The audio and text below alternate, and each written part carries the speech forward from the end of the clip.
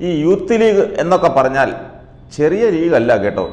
ഒന്നാം തരം മുഴുത്ത ലീഗ അവർ പണം പിരിക്കും മുക്കും അടിച്ചുമാറ്റും. ഇതെന്താ എല്ലാവർക്കും പറ്റുന്ന കാര്യമല്ലേ? യൂത്ത് ലീഗിന് മാത്രം പറ്റില്ലെന്നുണ്ടോ? പറ്റും. യൂത്ത് ലീഗിനും പറ്റും മൂത്ത ലീഗിനും പറ്റും. പക്ഷേ ഇങ്ങനെയൊക്കെ ചെയ്തിട്ട് കൈയും കഴുകി ഞാനെന്നും അറിഞ്ഞില്ലേ രാമനാരായണ എന്ന രീതിയിൽ ചാനലുകളിലെ അന്തിച്ചർച്ചയിൽ വന്നിരുന്ന ഫണ്ട് അടിച്ചു മാറ്റിയെന്നൊക്കെ സർക്കാരിനെയും മറ്റും കുറ്റം പറയരുത്. എപ്പോഴും അത് അങ്ങനെയാണല്ലോ. അവനവന്റെ കുറ്റം മറച്ചു വെച്ച് മറ്റുള്ളവന്റെ കുറ്റം പറയുന്നതാണല്ലോ കൂടുതലും ഈ അന്തിച്ചർച്ച ഏതായാലും കഴിഞ്ഞതൊക്കെ കഴിഞ്ഞു. ഈ നിയമസഭാ തെരഞ്ഞെടുപ്പിൽ മത്സരിക്കാൻ കുപ്പായം തുന്നി കാത്തിരിക്കുമ്പോൾ ഇങ്ങനെയുള്ള അടിച്ചുമാറ്റലും തട്ടിപ്പുകളൊന്നും പൊടി തട്ടി എടുക്കരുത്. അത് അവരുടെ ഇമേജിനെ ബാധിക്കും.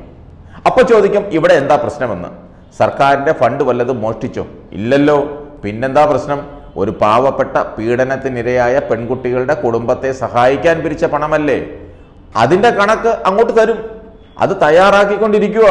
പക്ഷേ ഒരു പ്രശ്നം പണം പിരിച്ചിട്ട് രണ്ട് വർഷം പിന്നിട്ടിട്ട് നേതാക്കൾ കണക്ക് പുറത്ത് വിട്ടിട്ടില്ല. മാത്രമല്ല ഈ പണം കുടുംബങ്ങൾക്ക് കൊടുത്തോ എന്ന കാര്യവും വ്യക്തമാക്കിയിട്ടില്ല. ഇത് പറഞ്ഞത് ഞാനല്ല വേറെ ആരുമല്ല.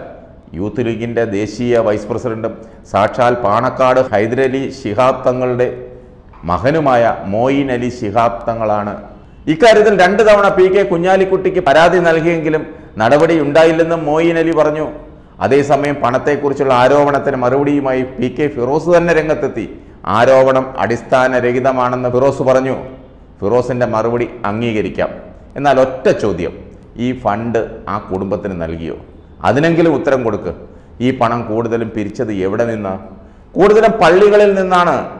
ഇവിടുത്തെ ഡിവൈഎഫ്ഐക്കോ യൂത്ത് കോൺഗ്രസിനോ ആരാധനാലയങ്ങളിൽ കടന്ന് പണം പിരിക്കാൻ പറ്റുമോ? പറ്റില്ല. പറ്റില്ല എന്ന് മാത്രമല്ല ഏഴ് അയലത്ത് രസീത് കുറ്റിയും കൊണ്ട് ചെന്നാൽ അവിടെ കയറ്റില്ല കയറാനും പറ്റില്ല.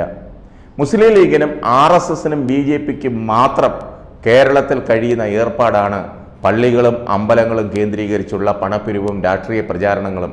യൂണിറ്റ് കമ്മിറ്റിയിൽ പോലും കണക്കൊക്കെ വെച്ച് പിരിക്കുന്ന ഡിവൈഎഫ്ഐക്ക് പള്ളി ഉസ്താദിന്റെ വീടിന്റെ പടിക്കൽ പോലും പിരിവ് നടത്താൻ മുസ്ലിം ലീഗിന് സ്വാധീനമുള്ളിടത്ത് സമ്മതിക്കില്ല.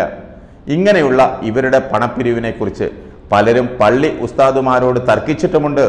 ചെറിയ പ്രായത്തിൽ തന്നെ ലീഗിന് മുസല്ലായിട്ട് തൊട്ടുവാങ്ങാൻ പള്ളി വരാന്തയിൽ അവസരം ഒരുക്കരുതെന്ന് ആവും വിധം പലരും പറഞ്ഞിട്ടുണ്ട്. ലീഗല്ലാത്ത അഞ്ചു നേരം പള്ളിയിൽ വരുന്ന എത്രയോ വിശ്വാസികൾ ഇത് പറഞ്ഞ് കേരളത്തിൽ അടി വാങ്ങിയിട്ടുണ്ട് അവരുടെ കൈയും കാലും ഓടിച്ചിട്ടുണ്ട് ലീഗുകാർ.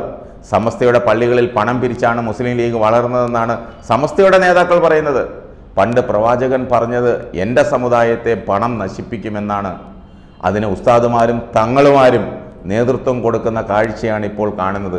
ഏതായാലും ഈ പണപ്പിരിവിന്റെ യഥാർത്ഥ നിജസ്ഥിതി വരും ദിവസങ്ങളിൽ പി കെ ഫിറോസ് തന്നെ പുറത്തുവിടുമെന്നാണ് കരുതുന്നത്.